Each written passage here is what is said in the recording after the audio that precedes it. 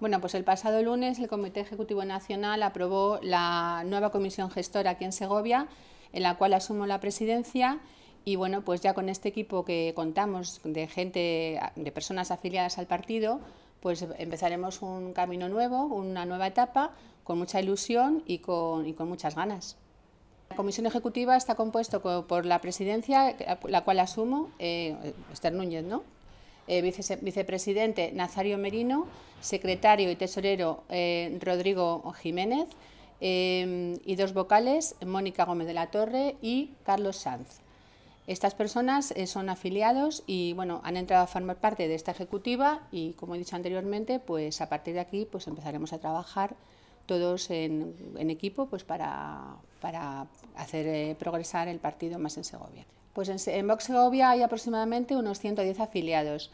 Eh, a partir del acto de Vista Alegre y del resultado de las, magnífico resultado de las elecciones de Andalucía, pues ha subido la afiliación eh, em, exponencialmente.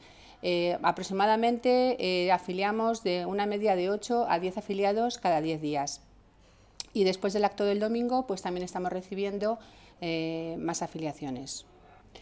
Bueno, pues el acto eh, fue, nos desbordó en cuanto a, capacidad y, eso quiere decir que, el mensaje de Vox está calando en la sociedad también segoviana.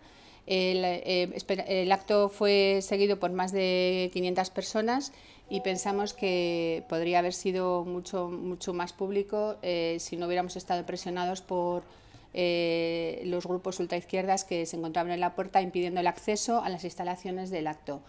Eh, pensamos que, bueno, que la libertad es importante en cuanto a, que nos respeten tanto si estamos de acuerdo como si no con, el ideario de, Vox. Como bien recalcó el pasado domingo nuestro secretario general, Javier Ortega, no hay en ninguna ciudad, ninguna provincia de España en la que esté todavía hecha ninguna candidatura.